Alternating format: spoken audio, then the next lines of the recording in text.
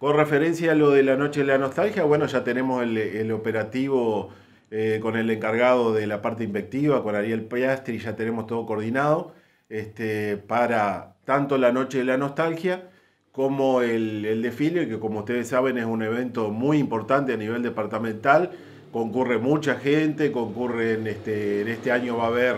este desfile de, de, vehículos, de competición, por supuesto que los piquetes tradicionales, con todo lo que ese movimiento implica. Y bueno, y exhortamos también a, la población en general a que se cuide, obviamente, este, a que respete las normas de tránsito, sobre todo el 24. Este, en realidad, eh, la dirección de tránsito y tanto a nivel departamental como en el país en general está muy conforme con, con este, las medidas que se están tomando y, y la gente en realidad está está cumpliendo, se está cuidando en esa fecha, eh, pero digo, no está de más exhortar a que se sigan cuidando, sobre todo en este año, y que tengan en cuenta que obviamente se van a hacer los controles correspondientes de pirometría, de, consumo de, sustancia, y bueno, todo el equipo va a estar eh, afectado a, esos controles. Va a estar afectado todo el personal, pero eh, se, se hizo una organización de forma tal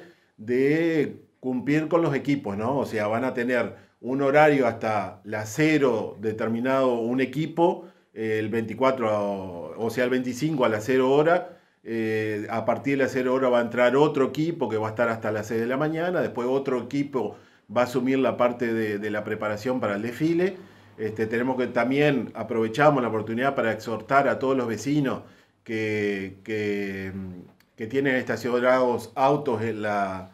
en Avenida Lecueder que tengan en cuenta que, obviamente tienen que, retirarlos para, el, normal transcurso del desfile. También eh, aprovechamos para, para, comentar y sabiendo que hay un baile eh, programado en el Club Uruguay, bueno, que este, la gente va a estar a partir de las 6 de la mañana exhortando a que se retiren los vehículos de, de esa zona. Y digo, está afectado todo el servicio, pero lo, lo intentamos de organizar de, moda, de manera tal que no sea necesario, eh, como en otros años, que se hacía todo el servicio de forma de corrido por los mismos funcionarios. En este caso se organizó de forma tal de que los funcionarios cumplan cada uno con su turno y que den lugar a otros para que sigan con la función.